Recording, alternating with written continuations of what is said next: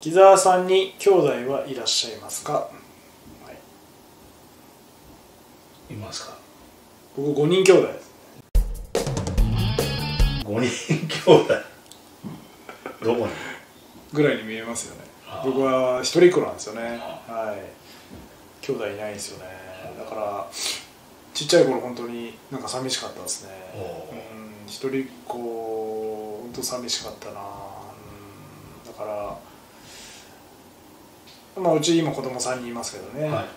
うん、だからまあ子だくさんというかはい。たくさんではないですけど、まあ、多い方ですよね3人いればね、はい。なんであのなんかまあ一人っ子もねそれは可愛がってもらえるしね、はい。あの大事にしてもらって育ったんではい。あの本当に親には感謝してますけど、はい。まあ、でもやっぱり一人っ子独特の寂しさっていうのはね、はい。ちっちゃい頃ありましたよね、はい。うん、というわけでね僕は兄弟いないんですよね、でも今こう実際血のつながったご兄弟はいらっしゃらないんですけどこういわゆるチームジュラシックとしてなんかこう仲間っていうのはもうものすごい数になりつつあるような。そうですね。仲間も多いですしこうもっと言えばねこうやって応援してくれる方とかね本当になんか自分の周りでサポートしてくれる方とかね本当に多くの方が手を差し伸べていただいてるんで、はい。うん、本当に感謝しかないですけど今は本当寂しくないですよね。あ はい。あのだからなんか一人でいろいろ子供の頃からなんか暗くはないんですけどはい。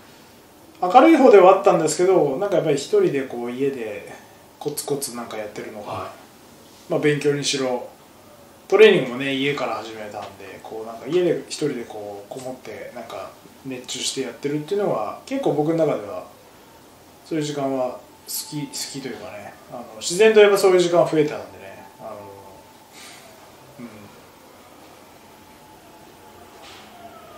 まあでも本当にねあのボディビル始めた時は一人っ子でまあ期待をされてた人間なんでねあのいい加減にしろよぐらいの勢いでしたけどねあボディビルは何をしてくれてるんだお前はっていうぐらい、あの親には反対されましたけどねボディビルなんてね。うん。だけどまあ今となってはねこれでえー生活してるわけだしね、はい。あのその時やめなくてよかったなとも思うしね。はい。はい、ということで木澤さんにはご兄うん、弟はいません。はい。はい。ありがとうございます。ありがとうございました